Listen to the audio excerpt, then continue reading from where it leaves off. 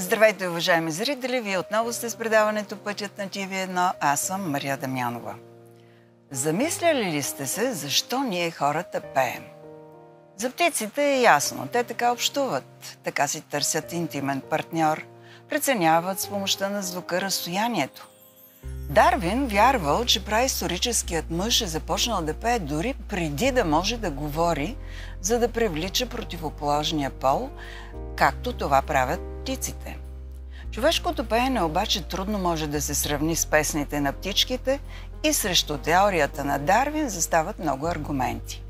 Гръцкият философ Платон вярвал, че хората пеят, за да създават хармония в обществото. Музикалният психолог Дейвид Хорон от университета в Охайо също смята така – според много специалисти, освен удоволствието, което ни носи пеенето, води до огромни неврологични, емоционални и когнитивни ползи. Днес с моите гости ще си говорим за песни и пеене. Представям ви актрисата Иванка Шекерова и фалшивите герои Мартин Стоянов и Стоян Тончев. Здравейте! Добре дошли! Как сте? Добре. Хубаво. Аз срещнах вас, тримата, на вашите концерти това лято. И се възхитих от това, което правите. Реших да си поговорим за това ваше начинание, за този ваш проект. Но първо искам да ви помоля да се представите с няколко думи на нашите зрители. С какво се занимавате? Само за Ваня казах, че е актриса. Да. Вие, освен с музика, има ли нещо друго, което правите? Разкажете малко за себе си. Ами добре, дамите с предимство ли? Винаги. а, казвам се Иванка Шекерова, актриса съм. А, имам а, роли в а, театралното пространство, а, моноспектакли два и разбира се а, този наш проект или пък а, тази наша любов към музиката, Шекерова и фалшивите герои, а, с а, песните от 60-те до 90-те години, а, с а, едничката цел и любов към българската, хубавата българска музика, която някакси във времето остава позабравена, а, защото този стил, който навлиза сега в а, нашето ежедневие, от доста години насам, а, така измества тази хубава музика. Ама сега за проекта ще си говорим отделно. Добре. Сега искам За да мене. си говорим за вас. Ами актриса съм и толкова. е, актриса. Обаче, Хасковския театър.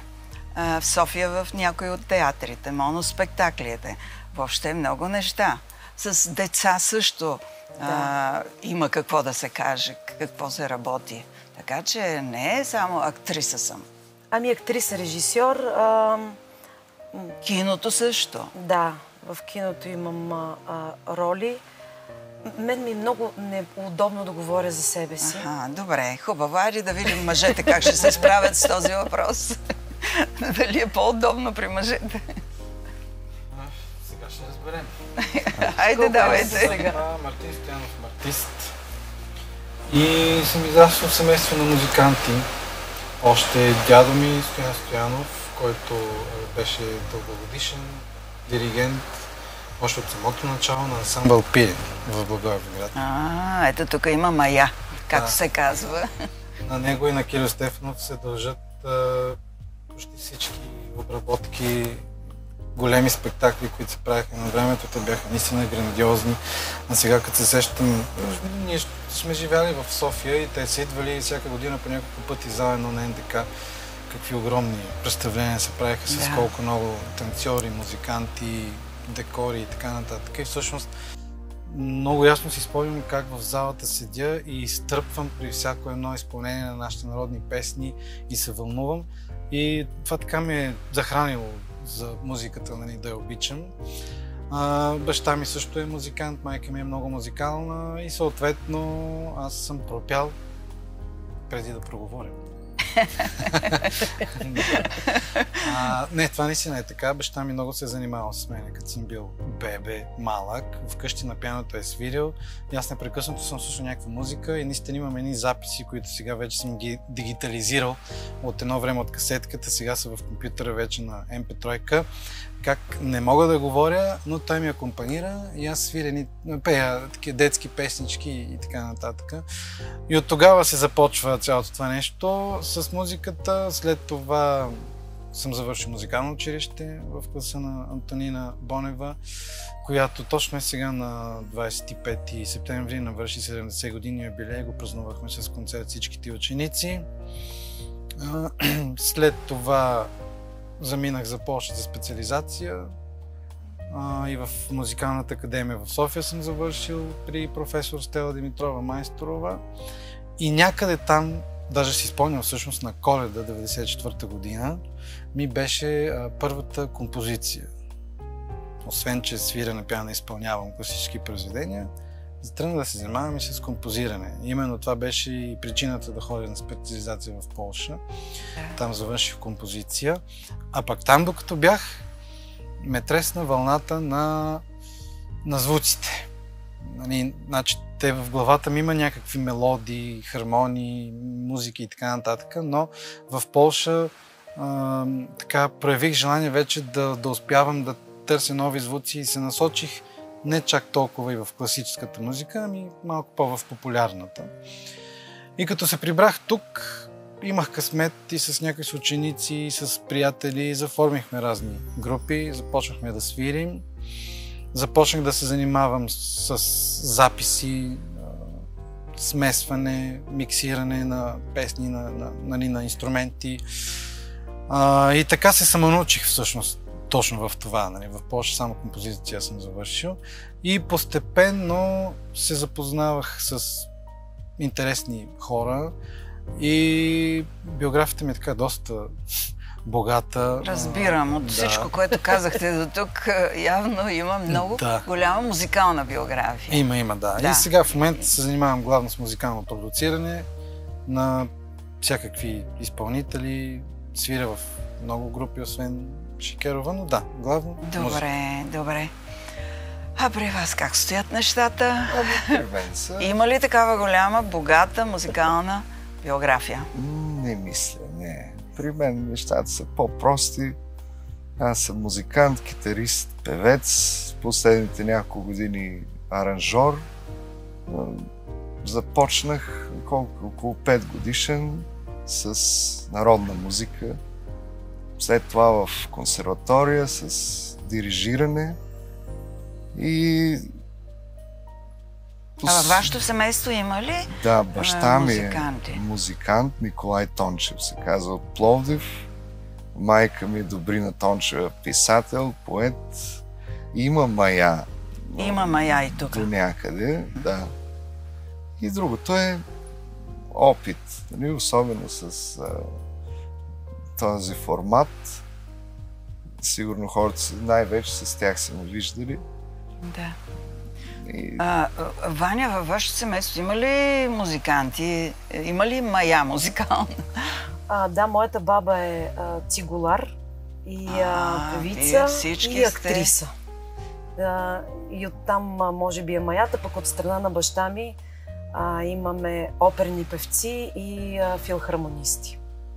Да.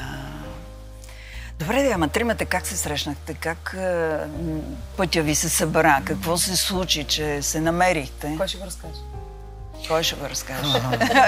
Ще да започна? А, да започна. Не сте ли се наговорили предварително кой какво разказва? Не, сме се наговорили. Преди 8 години в театър Иван Димов Хасково направихме, започнахме да правим едно представление, което се казваше Дубльори. Тогава режисьор а, на този спектакъл беше Елин Рахнев. И а, то, този тип спектакли, в който ние всички артисти сядаме заедно с а, него като драматург, за да напишем а, заедно тази пиеса. А, с две думи пиесата ставаше въпрос за едни артисти, които никога няма да излязат на театралната сцена.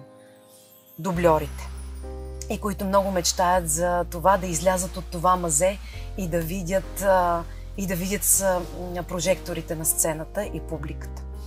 Та, а, докато работихме този спектакъл, се чудихме през, и минавахме през различни роли и аз пробвах да запея нещо. И той тогава много се впечатли. И един мотив, който беше а, в самото представление, музиката, която правеше за самия спектакъл е Георги Георгиев от група Остава. И този мотив мен тъй много ми хареса. И а, се роди идеята да се направи песен. И от тук нататък. Да, и от тук нататък съм аз. Тогава, точно по това време, с Жоро от Остава, имахме лейбъл Homo Vox Music. И той ми се обади и каза, Абе, Марти, тук една песен да направим. Има едно момиче, страшен глас има. Аз имам една идея за мелодия, дай да пробваме да направим една песен. И с двамата с него седнахме, измислихме песента. Тогава дойде Ванчето да запише. И аз наистина чух така доста интересен глас, много хубав глас, много приятен човек като цяло.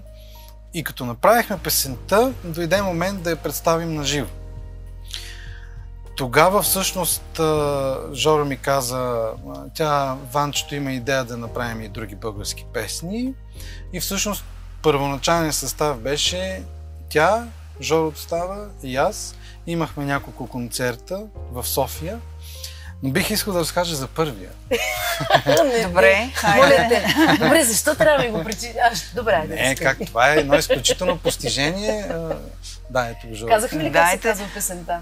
А песента се казва Неонов куплет. Първата ни дебютния ни сингъл. Да, дайте да чуем сега за първи концерт. сега. Така. И свирим в едно клубче в София. И Аз съм се запознал с а, Ванчето. Тя има страхотен глас, страхотен човек, страхотна осанка. Отиваме да свириме там.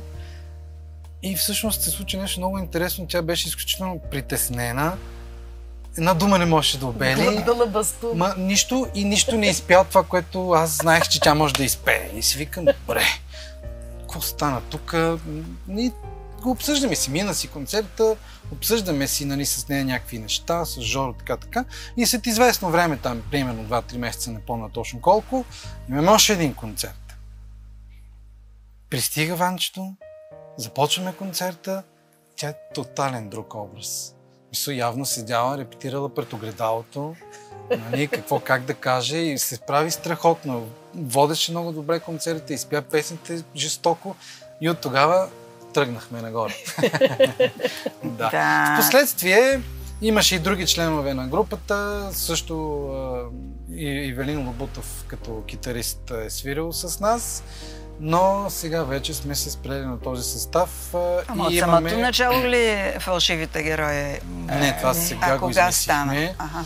И сега само да кажа, нали, че всъщност другия член на групата барабаниста ни, Владимир Иванов, не е с, не, е с нас сега, но това сме четиримата фалшивите герои. Ето ги, да. Човека с шапката. да. Да, фалшивите герои, според мен, разкажи сега как го измислихме. А, Стоян да разкаже. аз Да. А, измислих. добре, а, да не е Добре. историята. Първо, как Да, вашия път е се така. срещна с пътя имаше на... един период, в който аз така бях по-млад, с по... Ма вие се едно, че преди 100 години сте се събрали. Ами тук Ема, по-млад. 8, 9 вече, да. Горе-долу. И така и доста младеж си бях и, и, и свирихме. Обаче аз след това заминах за чужбина, тя групата си продължи и след това преди една година се върнах и пак ме взеха. Защото са добри хора. Ами, всъщност най-вече защото и пея, свирят те. Нали? Да, да, да, много добре. И получават ли си дуетите? И то Да. стават нали, дуети и така върнахме стария състав на групата да. в Чепеларе. Мисля, че беше първия ни така концерт, след като се върнах. Това щях да питам къде е първият голям Без концерт репетиции, просто се срещахме на този там. формат. Ми, май да. Как Чекалар. сте, такова, как ще се казва групата? Ами, как да се казва? Празника на града на Чепеларе, ние Да. сме поканени а, групата Шекерова и лайв бенд. Викам, хора, това не може да бъде така. Не, лайв не. бенд. Какъв това сега лайв бенд? Той всеки втори с лайв бенд. И седнахме там, имаше така много богати трапези на центъра, беше много приятно. И а, седнахме така, а, групата и решихме как, как, как. И Стоян каза, Шикерова и фалшивите герои. Е, разбира се. Еми хубаво. То беше ясно. Вече тръгна. да. Но добре. все още до сега на нито един концерт не могат да ни обявят така. Защо? Стават Ами, грешки не някакви. Става, стават грешки. Как ви обявяват? Кажи, кажи. Какво бъркат? Значи последно мисля, че бяхме обявени като акустичен концерт с Иванка Шекерова, песните на Тодор Колев и фалшивите герои. Някак си Се претурят Бяга. нещо, а? тя много държи да е Шекерова, а не Иванка Шекерова, но за сега не става. За сега е Иванка Шекерова. Нищо да, е, ще го оцелят в някакъв момент. Да, да. Ще... Аз нали не сбърках? Не. Не, За сега, не. за сега не съм сбъркала. Най-вероятно на следващия ни концерт, който е на 22 октомври в столичния клуб Строежа, където ще направим една вечер с песните на Тодор Колев и Мил Димитров, там са ни обявили като Шекерова и фалшивите герои с жълти надписи. Е, Ето, тук вече няма грешка. да. Добре, а в други формации а, свирите ли вие или това е единствено? Да, да. Да. Той да, майстор Сури А, доста. свирим, защото реалността в България е такава, че ако искаш да се занимаваш, да речем, Да. само с музика и главно, да речем, с свирене, а, трудно може, малцина са тези, които успяват само в един, както е модерно да се каже, проект. Да. Формация, група или там състав. Да. Та, да, аз се свиря наистина в много. Ако е подходящо, мога да ги спомена, както се прецени. Може, разбира се. През годините съм минал С кого даже и с, с, с група Остава. Нали, когато с Жоро се запознахме и с Шикерова, тогава всъщност направихме албума Океан на Остава. А, заедно с тях аз го продуцирах. Има много пиана вътре синтове и през това време свирих и с Остава. Но започнаха да се засичат някакви дати, защото аз исках да се развивам и в други сфери. Да. И съм свирил с много, с много изпълнители. В момента главно с група No More Many More, с Никеца, Casual Threesome, а, с актьора Иван Юруков, група Терпентина също свирим, правим песни. Един младеж има Брок Пунцел и той да ги изброява, но много са, да, но Да. това е реалността в България и се опитвам капка по капка вир да стане и за това. Важното, че има къде да, да се, Да се надяваме, работи да се надяваме. и да се изкарват едни парички, защото Е, все пак и това е живота важно в все пак време, е и материален. М. Да. за съжаление, да. А как се носят много дни под една мишница? Толкова много неща в един театър, втори театър, моноспектакли, занимания с деца. Много трудно. А, тря- трябва да оставиш една част от живота си да не се развива, за да можеш да развиваш. Коя част не се развива? И ми тя ли- личния почти не може да се развие в този смисъл, защото това изисква огромно така, количество време. А, освен на театралните постановки, освен моноспектакъла а, Провинциални истории по Чудомир, а, освен... Препоръчвам го горещо, уважаеми зрители. Страхотен е този моноспектакъл. Страхотен. Чудомир е актуален винаги. Винаги. А, това е една огромна любов. Аз и обожавам а, а, Чудомир а, като автор, а, като художник, изобщо като творец. А, даже съвсем а, преди няколко дни а, се качих на Самодивец, а, онази малка част от а, природата Енчо, в която той разказва за а, необятната красота на Самодивец. И качих се на този връх и беше великолепно. Деца преди колко няма и месец а, в Ивайловград направихме едно представление, на което така аз имах честа да бъда и драматург и а, режисьор, което се казва Дишей. А, под заглавието Кой интелект избираш? Изкуствения или естествения? О, това е много интересно. Да, там а, така, тъй като А това ще са излезете ли от Ивайловград? Да. Ще гостувате ли някъде? Да, Къде? живот и здраве в София. А, февруари месец а, в Хасково ще имаме представление, в Пловдив ще имаме представление и така ще направим едно а, своеобразно турне с а, това представление. А, идеята на този спектакъл се роди от а, моя личен вътрешен а, протест към а, това цялото дигитализиране. Без а, да омалужавам а, си технологията, а, но има едни неща, които не трябва да се докосват. А, и това е да мислим и да чувстваме, а не да го оставяме на технологията да го прави вместо нас. Да. Добре, аз пожелавам успех на този а, нов а, проект, както се казва сега. Скъпи зрители, вие сте с предаването Пътят. Гостуват ни Иванка Шикерова и фалшивите герои, Мартин Стоянов и Стоян Тончев.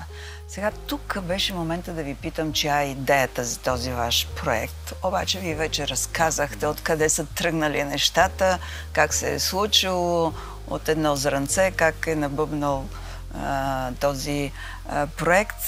Казахме за началото, за първите ви концерти. Обаче все пак, защо музиката на 60-те, 70-те та- до 90-те? Какво вас там ви привлича? Какво искате да кажете на нас, публиката? Кажи, Стояне. Ми, как да кажа, то... От самото начало, така, как се казва на разговорен език, си падаме. Падате си по Падаме тези. си по тези по-старите неща. Чисто музикално погледнато, това е музика, която тя няма аналог, няма продължение след това. Примерно, ако вземем а, американския хип-хоп от 60-те години до сега, той е доста подобен. Нали? Сега звука е различен, но идеята е същата.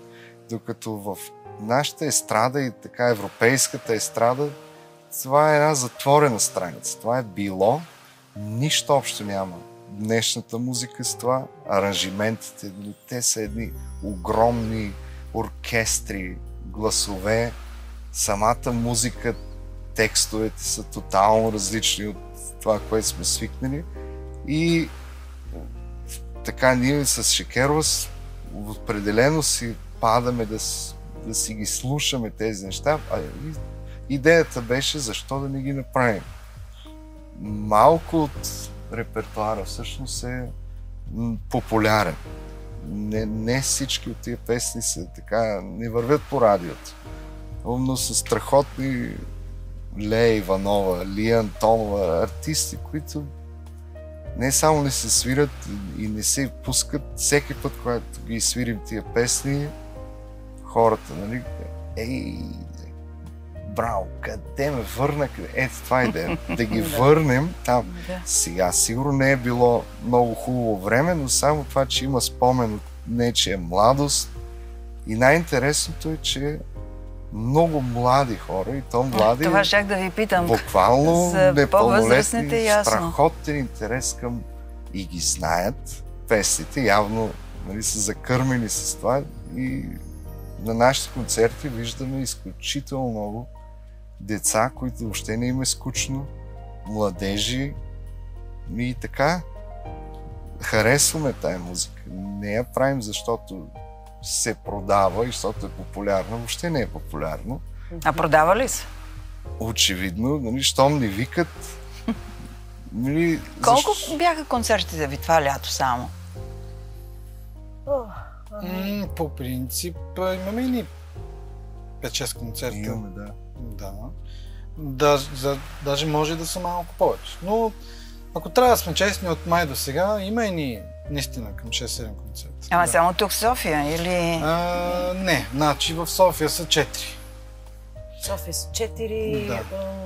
И сега с този, който и предстояше, дето го казахме, да речеме, че са нали, 5. Да. После и, и ноември ще имаме, и декември ще имаме концерти. Тази година, добре, ето Стен като се върна, ни донесе късмет. Ние си го чакаме. имаше, честно казано, имаше един период преди не много години, имаше ненавист от обществото към естрадата, към всичко това от едно време гадно да се изхвърли. И сега, е след, мисля, че ковида, когато мина, нещата много се промениха в хората. Стана и мило всичко това нещо, приемат го. А как си го обяснявате? Защо е това връщане назад? И, и на Запад се случва същото.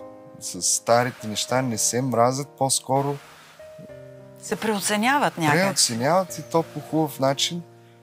Нещо се случи с хората. Нали? Малко преосмислиха ценностите, че и това се отрази и на нас. Такава радост. Нали? Има хора, както преди предаването си говорихме, че Керва че разкаже историята с един китаец, който беше на наш концерт. И това е много различно от, от преди. Преди, примерно, сега сме 2024, преди 7-8 години не беше така. И имаше лоши чувства към естрадата, към цяло, като към българската музика.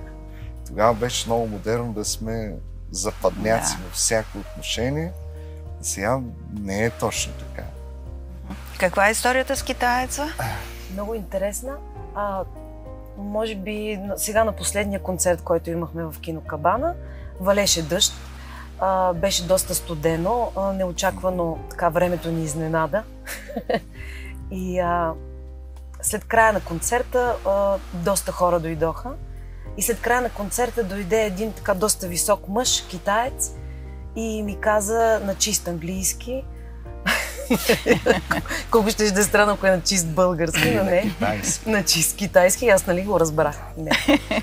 А, и ми каза, много ви благодаря за тази вечер. Аз абсолютно нищо не разбрах от думите, които вие изпяхте тази вечер, но толкова силно ми въздействахте, че вие влязохте в моето сърце и аз съм толкова щастлив, че реших, чувайки това какво се случва в това пространство, да остана, да чуя и да остана. Благодаря ви за вечни времена. И аз направо да. бях останала втрещена всъщност каква е силата на музиката, обаче да. колко е по-силно, когато ти обичаш това, което правиш и го правиш с цялото си сърце и то достига до сърцето на другите хора. Да. Ето това е велик, великото и нещо. И понеже музика. участваме на много сцени, Мартини, тя и аз, аз примерно и в рок музиката имаме една група Дърти Пърче с участ. Така, хората се радват, всичко, но, но такава искрена радост, като на старите български песни. Мен ми се случи 3-4 дни след като се прибрах от чужбина, още с багажите и ме викнаха в Пловдив. Имаме един бенд, а, доста големичък, така, каза се големи и малки, който правим възстановка на Тодор Колев с костюми и, и така. Първия концерт още аз встъпвам в България, хора плачат в публиката и си казах нещо става. След това с Шекеро в Чепелари, с спомням, то дъжд валеше. Да, да, винаги вали. Обаче плачещи хора, викащи такава и това много ни зарежда тая искрена радост. Това не е хора, които им харесва и са дошли да си прекарат добре, нали, просто да им, да им е хубаво, както е в случая с западната музика стават хубави концерти, всичко е такова, но тая искрена емоция, която получаваме от българите на българската музика, е наистина уникална. Да. Кой определя репертуара? Как решавате О, какво тримата. точно да, да направите? Да, и тримата, и най-вече се съобразяваме с певците. Все пак, но да, като цяло. Ванчето предлага песни, той предлага да. песни. Някои може би не се получават чак толкова добре, но да, сега даже ще вкараме и нови песни, ще разнообразим като живот и здраве по защитат концертите. Тоест трябва да разбирам, че във вашата група няма шеф-диригент пълна демокрация. Всички сте на една нога. да, само демокрация. Само като сме на сцената има шеф диригент. Е, задължително сега. Какво? Така ли? Да. Кой дирижира там? Марти. Добре. Ние всички само към него така и той само така и ние давай. Е, трябва да има един, който ни А кой определя сценария за всеки един концерт? Пак заедно? Или пак заедно работите? Решаваме Всичко как заедно. да бъде подредбата на песните. Да? Всичко правим заедно mm. и то това е най-хубавото, защото всеки един от нас има а, един а, свой собствен почерк и когато тези три енергии се съберат, да. тогава наистина си става много хубаво. И, и това, когато сме си говорили в а, нашите лични разговори, е, че най-важното нещо е, когато артисти се съберат, да обменят тази енергия и тази емоция и то тогава става този взрив. А когато някой се опитва да дърпа конците към себе си, никога не става добре и накрая се стига до дайте ми куклите, ето ти парцалите и си тръгва хората по пътя. е, че когато го измислим, така ще стане. То не става така. Самата публика говори и, и на момента се сещаме някоя песен, правим, защото те, те си го искат. Не, че А казват. публиката, случва ли се публиката да ви предложи нещо, което след това да вкарате в репертуара? Това да дойде знам. идея от публиката? Случва ли ви се? Имаме късмет, май, че нямам, не сме група, която получава поръчки. Да. За поръчки. Не, не, аз не говоря за сме- поръчки. Аз говоря за, За след това, концерта. а, Да, да. след концерта някой да дойде и да каже, ей, това парче, защо не сте го включили и вие да се сетите за това парче и да го вкарате за следващ, в следващ концерт. Те хората Това са имам предвид. толкова захласнати по това, което се случва горе на сцената, че даже си мисля, че те не могат да се сетят за и, и още една песен. Защото ние сме изкарали някои от песните, които са наистина потънали в прах. Мгм. И, и а, примерно, а, дай да те целуна. Да, това е. И те хората изобщо... И я малко запейте от Дай да те целуна. Дай да те целуна, стига вече знам, станахме за смях. А, Защо ли толкова се целувам? И така нататък. да, да, да. Примерно, Да. Не, помня кога беше, но направихме годишнина на Тодор Колев. Те, Аз Това е- специално исках да ви питам за този трибют. Сега беше на 26 ами те всяка година го правят там. Тази година имахме честа ние да бъдем поканени, да го направим в кино Кабана и свирихме концерта по програма, но накрая и свирихме Огън от любов. Защото, защо не? И стана много добре. Да, Да. хората избухнаха. Да. Кои периоди до тук сте обхванали? Ами 60-те до 90-те, а, в които влизат а, Стефан Воронов, а, Лея Иванова, Лиана Антонова, ам, някои една-две песни на, от по-забравените стари на Лили Иванова. Това, което казахме за Тодор Колев. А, Опитали сме се да вземем наистина най-най-старите парчета, които са били хитове в тези времена на 60-те години. И а, даже още в началото, когато правихме концертите българските песни от 60-те до 90-те, а, започвахме с а, така едно а, широко м, представене на българските певци и музиканти от онова време. И много интересно е за Лея Иванова всъщност. а, Аз винаги така се вълнувам, когато разказвам тази история. Така, сигурно и аудиторията знае за нея и тя може да се намери навсякъде в интернет. Когато тя всъщност събира свои приятели в нейния дом и вечерта слушат западна музика и на сутринта и се тропа на вратата, жена полицай, тя отваря, дайте си картата и, и я вкарват в концлагер. И всъщност, когато там е принудена да работи тежък физически труд, а, всъщност тогава тръгва най-големия и хит Чико от Пуерто Рико. И тя с остригана коса, там се чува някъде по някаква радиоточка, или не знам какво е точно, но и тя казва, това съм аз. И те всички са започнали да й се подиграват. И за съжаление тогава са и сложили етикета Зоза. За тези, които не знаят какво значи тази дума, това е лека жена, така да го кажем в ефир. И тя след това много трудно си е намерила работа. Но тъй като е била изключително силна и борбена жена, и с изключителен глас за онези времена, тя е успяла да, да пребори а, тези етикети и тези печати и да продължи напред. И е била световна. Тя не се е Да. била световна. И така, че ние, а, освен на хубавите текстове, хубавата музика, така сме насочили вниманието си към това да хората да разберат и малко зад гласа и Да. малко зад музика Да. за човека. А, нямате намерение да разделяте в концертите си музиката само 60-те, само 70-те, само 80-те. Правите го 60-те, 90-те. Да, общо. компилацията. Да. Компилация. Добре. Да, даже защото самия концерт минава през всичките години, за да стигне до малко да. по-модерни времена. Mm-hmm. Да. А, пълен лаик съм в областта на музиката. Сигурно личи а, от, ще проличи съвсем от следващия въпрос.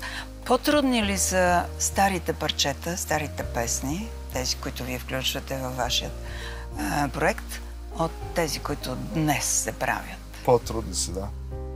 Ако се свирят, ако се пеят и се аранжират както както трябва, така да кажа. Не е хубава дума трябва, но са доста по-сложни като структура, като текстура. Съвсем друго е. И, и всеки може да си направи експеримент. Много е трудно, примерно, един съвсем млад човек, сега, който е свирил модерна музика, ще му трябва време, за да влезе в час. С а, хармониите са по-сложни. Има като по учебник е. Да. А, а днес защо не се правят като по учебник? Защото... По-лесно е по повърхността а, да се Трябва много по-бързо да достига дадена да. песен до масата. А, много по-бързо да достигат нови и нови и нови песни до масата, на, до хората, нали, до масовката.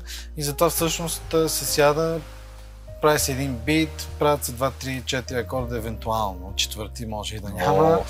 А, и а, за един ден набързо сега трябва да направим една песен, да я пуснем, да стигне там някъде в класациите и след 2-3 месеца тази песен се забравя, защото ние непрекъснато трябва да бълваме и бълваме нови, нови песни, просто защото живот е станал по-динамичен. Едно време не е било чак така и те затова са останали тези песни, които и до ден днешен ние си спомняме и пеем, просто защото не е имало такова бълване на песни и не са бързали да направят песни. Имали са достатъчно време да направят хубава музика, хубав аранжимент, оркестър, певци, всички, продукцията цялата нали, да е по-голяма, а не като в повечето случаи, нали сега не говорим, че наистина винаги е така в днешно време, но в повечето случаи за един ден там една песен се прави. В никакъв случай не не казваме, че няма хубави песни в днешни времена. Има, разбира Има се. Много хубави да, песни. Да. Просто времената са различни, много по-динамични. А тези бързите песни имат ли дълъг живот? Бързите песни. Тези, които набързо са направени. А, хващам се за думите, тях, които ви да, казват. в интерес на истината успяват да, да останат, но пак казвам, а, ежедневието ни е станало съвсем по-различно да. и много по-динамично а, много повече информация достига до нас сега чрез интернет, телефоните, всичко е пред очите ни. И много по-лесно се забравя старата информация, когато седиш пред телефона, пуснато ти е да някаква реклама с някаква нова песен в случая, нали? Ти я виждаш и така вече на третата, четвърта нова песен, която си видял, си забравил някоя стара, която ти е харесало. Докато преди са оставали и остават много по- повече тези старите песни, за по-дълго ще останат, отколкото някои от новите. А вие имате ли собствена ваша песен, която скоро ще види бял свят? А, да. имаме. Освен на неонов куплет, който направихме тогава, за, което, за времето, в което разказахме. И сега предстои нова песен. Тя се казва Зелда, макар че тя не е много нова. Но... Самата песен не е чак толкова нова, но не е... Но имате клип сигурно, или? Не е пускана никъде. И имаме. Има един клип, който седи чака известно време, но мисля, че вече ще се престрашим. да. И ще го пуснем скоро, да. Добре, добре. Скъпи зрители, вие сте с предаването Пътят. Гостуват ни Иванка Шакерова и фалшивите герои Мартин Стоянов и Стоян Тончев. А, понеже тук в това студио и в предаването Пътя съм се срещала с доста хора, които се занимават с музика. А от друга страна пък в предаването често говорим за енергийни практики, за енергийно влияние. Да, искам да ви питам, мислите ли, че музиката носи енергия, която по особен начин въздейства на зрителя. Да. Музиката е единственото нещо, което може да въздейства най-много на, на човек срещу теб. Даже аз имам една такава теория, защото много мисля по тези въпроси. И всъщност а, а, ние от, откъде изхождам, нали, малко по-далече. Когато си говорим, ни, думите не ни а, нараняват. Наранява ни интонацията. Или пък интонацията ни кара да се чувстваме добре. Аз мога да ти кажа една обидна, нали, на пръв поглед а, дума, но ако ти я кажа с, а, с най-благата интонация, тогава ти никога няма да се обидиш. А, Бе, не се сещам за грозна дума, която като ми я кажа тихичко или по-лекичко, или по-така Е, някак да- да говорим- нежничко няма да се не обиди. говорим за тези така най-обидни думи, но а, така, някакви метафори, да речем, които биха били обидни. А, интонацията, начина по който ти вибрираш, начина по който ти се изразяваш, начина по който ти музицираш, защото то всичко е звук в Да. Вселената. Всичко е вибрация. И даже си мисля, че когато, тъй като музиката е универсалния език, всички се разбират и както и онази история, която разказахме за Китаеца, За китаеца. който е разбрал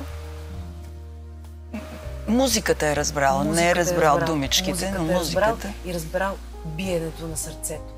А това никога не може да се сгреши. Никога не може да сгрешиш, когато човек е оплашен, когато човек е а, стресиран, когато човек е в хармония, когато човек е щастлив. Това са вибрации, които ти никога не можеш да объркаш със сърцето си. Може да не знаеш какво се случва там, но ти усещаш, че има проблем или пък съответно е спокойно и приятно. И точно за това тази част от музиката на тези времена някак си е по, как да кажа, по-топла, по, а, по-близка до, а, до човешката вибрация. Тази, която е с този тежък бит, която е с, с този, този ви, ви, а, как се казва, вибрационен а, заряд, който те кара да... Не знам, сядали ли сте в заведение, Да, като има да, да. хаос музика. И ти ядеш като... Даже не, си, не, не може да усетиш кога преглъщаш тази храна. Сядали сме в ресторанти, в които има приятна музика, нали? Разговорът е, че е по един начин. Храненето е по друг начин. Музиката определя целия ни живот. И те не случайно казват, кажи ми каква музика слушаш, за да ти кажа какъв човек си. Ами, доста е изследвано това всъщност. Това е най-търсеното нещо от големите музикални компании по света. Как да обясним енергията в музиката? И има опити, то доста сериозни опити да така да се моделира как, как да се направи музика, която да въздейства. Но това не може да стане. Значи с музиката не можеш да излъжеш. Например, имат софтуер, който прилича на Excel, който има данни от последните 60 години, кои фрази от песните са най-слушаеми, най-ги харесват хората, събират тия фрази в една песен и тя нали, да стане хит. Тя е доста приятна, примерно тази песен, но човек какъвто и да е, няма нужда да е музикант, да е артист, усеща. Когато нещо е просто приятно и когато нещо е искрено и направено наистина от, от душа. Например, да вземем една българска песен Вървят ли двама? Тук няма шега. Тук няма статистика, няма инженерство, както се казва. Просто една песен, която завинаги ще остане и написана от душата. И същото нещо с свирането на живо. Не можем да излъжим хората. Не можем да... Колкото и да, да свирим, т.е. да свирим нещо, което не ни харесва, но усеща се. Веднага се усеща. Да. Ето аз тук мога да кажа за моята учителка по пиано. А, тя се стараеше и мисля, че успява да ме научи нормално, когато се свири. Сега с тия новите модерни електронни пиане и така нататък не може да се получи, защото това е семпл, който е записан и толкова. Но, точно като говорим за въздействие, за енергия, когато свира на истинско пиано, през годините, когато съм бил при нея, тя наистина ме учеше, като натисна тона, чрез силата на мисълта и чрез енергия, чрез влияние, този тон да успява да звучи доста, доста така дълго и приятно. И това наистина има го това нещо. Може, зависимост как натиснеш, много е странно, но зависимост как натиснеш клавиатурата на рояла. С каква мисъл? С каква мисъл, Подхождаш? по какъв начин натиснеш, Да. по какъв начин се влееш в пианото. Тоновете, които свириш, имат различен цвят и различно въздействие върху публиката. Това сигурно не само с пияното е така. Естествено и с Вероятно, цигулка, и с всеки инструмент. акустичен, е важно, жив, истински да, инструмент, когато да. има взаимодействие между музикант, цигулка ли ще е, китара ли ще е, нещо ли ще е, някакси наистина на, на енергийно ниво има взаимодействие между човекът и инструмента и затова има е, изпълнители с дадена душевност, даден вид интерпретация. Говоря за класическата музика най-вече, което се харесва на едни хора. Има други изпълнители с друг вид интерпретация, което се харесва на, на друг вид хора. Зависи кое как въздейства и кое как се възприема. Затова и по време на концерти публиката усеща, когато а, изпълнителя маркира и Еми, гледа да точно отбие тези номера, концерти, грубо казано. Особено сега това е лято, доста хора, някои мои познати и други мои непознати. Освен, че сега те и тях си ги поздравявали, но при мен идваха хора и ми казваха каква енергия има между вас, така, нали, вибрация, енергия, защото ние просто наистина излизаме на сцената и не разчитаме на ноти или някакви предварителни оговорки. Естествено, песента си е такава, трябва да я свириме, но всеки един концерт при нас е различен като изпълнение, нали, като енергия. И то, това всичко зависи от публиката. Тоест, ние взаимно обменяме енергия с публиката и то се почва още от първата песен. И аз лично за моето свирене съм усетил, ако нещо не съм на кеф или нещо съм притеснен или нещо, още от първия тон, ако вляза в концерта с тези мои настроения, целият концерт някакси не е така, както може да бъде. А ако се опитам да забравя цялото това нещо и да се изкефа максимално на музиката още от първия тон и целият концерт тръгва по мет и масло и наистина хората идват после при нас и казват ние не знаехме каква енергия, даже едните ми казаха така, ние а, познати, ние те знаеме, че свириш, че така, обаче не знаехме каква енергия бушува между вас и, и такива неща. А в кой момент усещате енергията, която публиката ви дава? Кога усещате публиката дали е точно тази, която Веднага. ви трябва и която Ми е на правилното първата- място? Наистина още след първата песен. Веднага се усеща. Тоест ти като засвириш и веднага виждаш наистина или публиката е така седи, не може да повярва какво се случва. Тоест ти си успял да я грабнеш с твоята енергия, нали, като е така седат и те гледат и съответно те после започват да връщат тази енергия под формата на аплаузи и като, най-вече като изпълнител, когато видиш хората, че се радват на концерти по време на песните, дали пеят, танцуват, скачат, усмихнати са, това нас ни зарежда и наистина ни дава смисъл и вяра да продължаваме да правим това, което. Сигурно ви се е случвало да усетите, че има стена между вас и публиката. Какво правите тогава? Как реагирате? Продължаваме. Минаваме концерта и си тръгваме. Да, да. Ай! Голям концерт стана. Сигурно не слизате от сцената, но все пак как го преодолявате? Защото това създава лек дискомфорт и у вас, Лично нали? аз го продолявам така, т.е. това са едни от малкото пъти, които са се случвали за всичките концерти, които сме направили. Т.е. все пак имаш единици, единични случаи, когато може да се получи някаква такава сцена. Има, наистина има такива концерти, но те са много малко. И те са даже някакви... Не е цял концерт, а то са някакви малки частици, в които хората, примерно, да речем, не са препознали. Ти никога не трябва да спираш да даваш. Когато си горе на сцена, ти не трябва да спираш. Дори и да няма ответна страна, отдолу, в някакви малки моменти, ти не трябва да спираш. Защото то, това е мисията, когато се качиш там на тези няколко сантиметра над земята. Ти си, айде, думата не е длъжен, но след като си се качил там, ти трябва да бъдеш готов и за едното, и за другото. Трябва да бъдеш готов и за студенината, и за любовта, и за неприязанта, и за това, че някой някога може би ще си тръгне, или пък няма да препознае тебе като изпълнител или като музика, да. но ти трябва да останеш. Защото ти си война на изкуството и ти това не трябва да го забравяш. След като си взел тази мисия за себе си, ти трябва да си до край. Може би пък да продължиш и заради самият себе си да направиш концерта на нивото, на заради което е всичко. е необходимо. Заради да. всичко. Е, да, ами... няма как да се прекъсне концерт. Не, не, не говорим за прекъсване, просто да. исках да разбера, да, да разбера какво е чувството у вас и как вие преодолявате и, такъв чисто, един момент. Чисто да. професионално си казваш, давай следващата песен, давай следващата песен, свършва концерта, забравяш, че го има и така. Практически да. са доста бариери за преодоляване.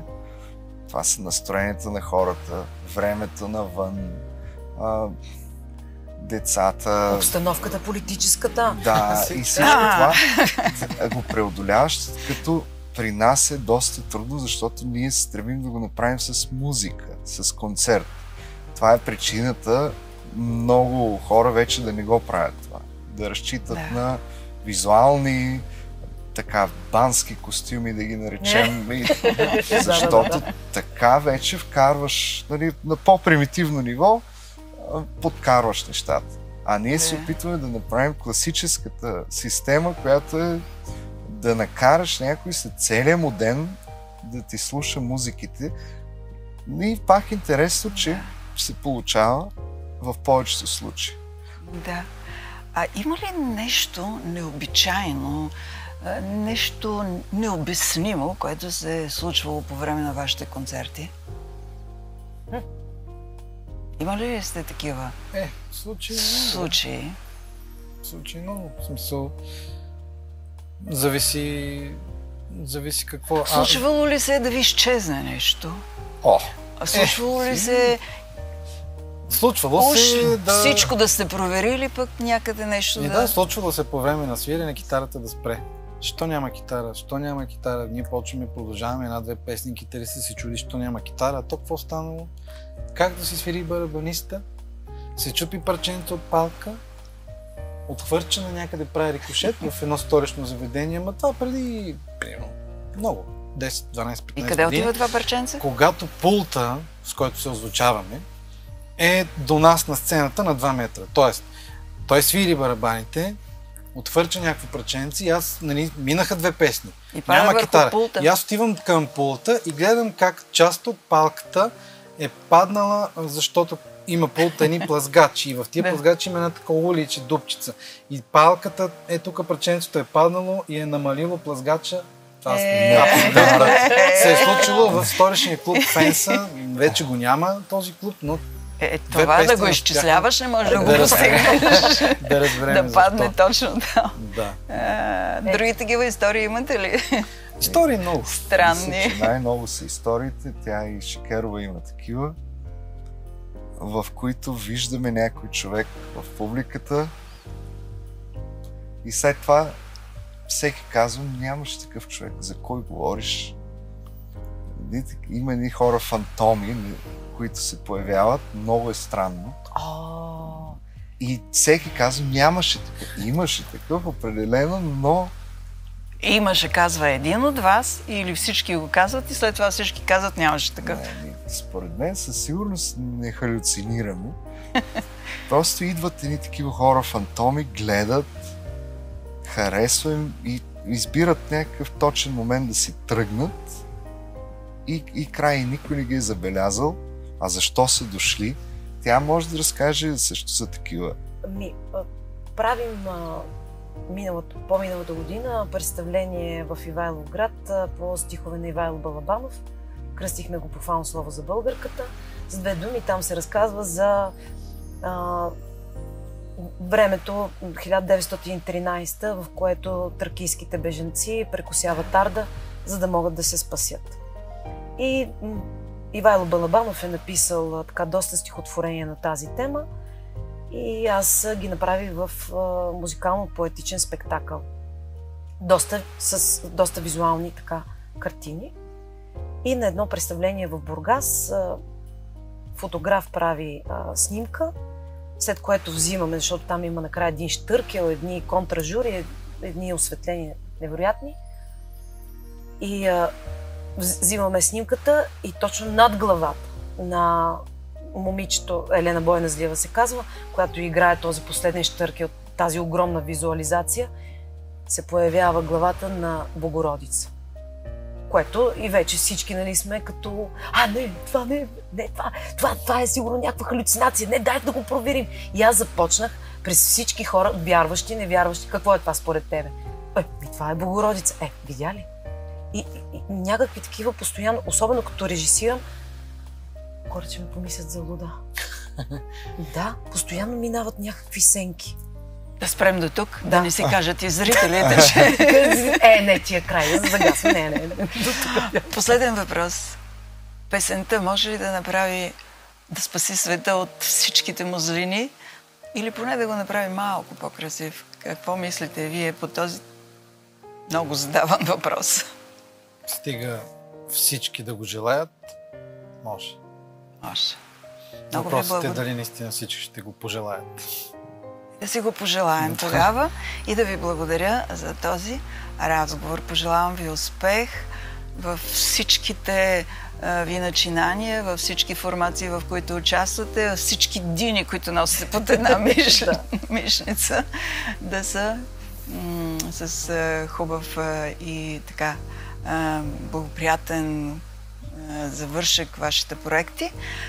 Още веднъж ви благодаря и за финал на предаването традиционната притча.